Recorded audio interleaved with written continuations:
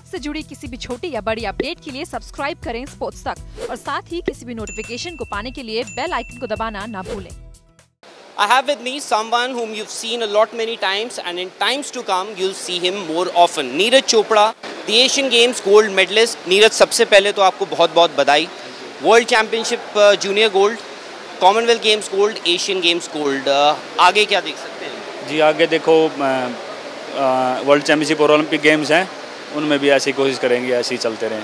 नीरज हम एथलेटिक्स की बात करते हैं तो एक एक आपका एक ऐसा कॉमन नाम है जो हर कोई बोलता है बोलते हैं कि जो एक ट्रैक एंड फ़ील्ड में भारत को आज तक ओलंपिक मेडल नहीं मिला है वो एक अगर कोई आदमी ला सकता है तो वो नीरज चोपड़ा है और टोक्यो 2020 ओलंपिक्स शायद से वो जगह होगी टोक्यो जहाँ पे वो ऐसा होगा। तो कहीं कोई प्रेशर नहीं जी प्रेशर कुछ नहीं है अपना हार्ड वर्क करेंगे और अपना जी जान लगा देंगे ओलंपिक में। एक्सपेक्टेशंस जिस हिसाब से होती हैं आपको जी अच्छा एक्सपेक्ट जी अच्छा लगता है देखो काफ़ी अच्छा लगता है कि लोग एक्सपेक्टेशन करते हैं और उन पे जब हम खरा उतरते हैं फिर और भी अच्छा लगता है। तो कोशिश करते हैं कि और ज़्यादा हार्ड वर्क करें और ओलंपिक की तैयारी अच्छी करें। अच्छा आपका एक एक पिक्यूलियर सा एक अलग सा स्टाइल है जब आप जैवलिन थ्रो करते हैं तो आप काफ़ी पीछे से ही थ्रो कर देते हैं उसके बाद जो मोमेंटम है उसको जाने देते हैं। हमने एशियन गेम्स में भी देखा शायद से जो आपकी पहली थ्रो थी 83 अ, के करीब 83 से थोड़ी सी ऊपर जो आपने मारी थी उसी में आपको सेलिब्रेशन करने लग गए थे तो कंपटीशन ऐसा लगा नहीं।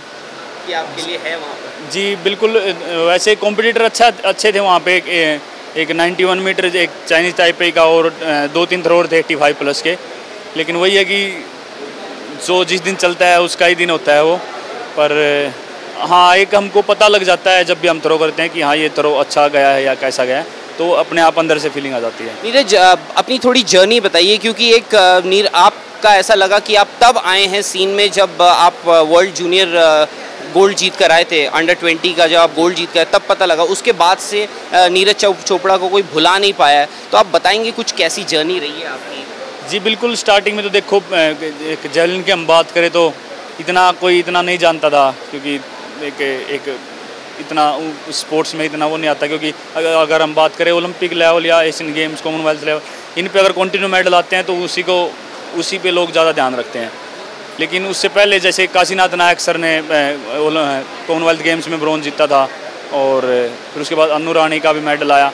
तो उसके बाद थोड़ा थोड़ा आने लगे थोड़ा हाईलाइट में जेवलिन उसके बाद फिर वर्ल्ड जूनियर में रिकॉर्ड बना था और उसके हाँ उसके बाद ही थोड़ा जानने लगे लोग और कोशिश की मैंने कि परफॉर्मेंस को कॉन्सिस्टेंट रख सकूँ।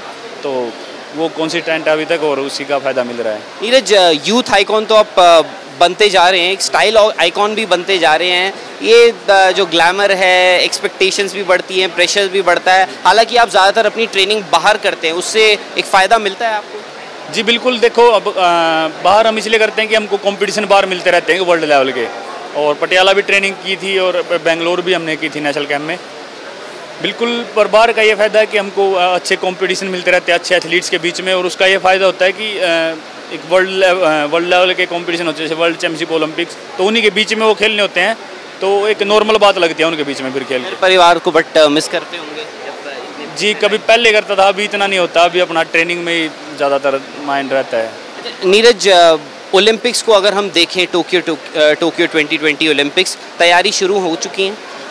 देखो जिससे पहले वर्ल्ड चैम्पियनशिप है तो मैं कोशिश कर रहा हूँ कि वर्ल्ड चैम्पियनशिप भी बहुत बड़ा कंपटीशन है। पहले उसमें अच्छा करें उसके बाद फिर ओलंपिक्स के लिए अपना जी जान लगाएँगे। 88 अ, मीटर 88.06 टू बी प्रिसाइज आपने जो फेंका था जैवलिन अब बोल रहे हैं कि 90 मीटर अगर कोई मार सकता है वो नीरज चोपड़ा है। शायद से अगर आप 90 मी- मीटर मारते हैं तो वहाँ पे आपका एक ओलंपिक में मेडल भी पक्का है। तो उसके लिए कोच के साथ किस तरह की अलग तैयारी जी देखो कोच के साथ आप करेंगे प्लानिंग बनाएँगे कि कैसे क्या, कहाँ ट्रेनिंग करनी है, किस हिसाब से ट्रेनिंग करनी है।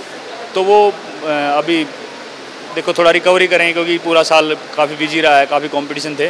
तो अभी थोड़ा रेस्ट करके उसके बाद सभी प्लानिंग वगैरह करेंगे कहाँ पे ट्रेनिंग करनी कैसे करनी है। नीरज एक आखिरी सवाल मैं आपसे पूछूँगा कि लाइफ कितनी चेंज हुई है? एक छोटा सा एक बच्चा था 2016 ओलंपिक्स मुझे याद है उससे थोड़े से पहले आप आए थे एयरपोर्ट पे आपका एक बहुत ही बड़ा स्वागत हुआ था। तब शायद से ऐसा भी था कि आप ओलंपिक्स के लिए क्वालिफाई कर जाएँगे वो क्योंकि आपका मार्क था क्वालिफाइंग मार्क बट लाइफ कितनी बदली है उस दिन से?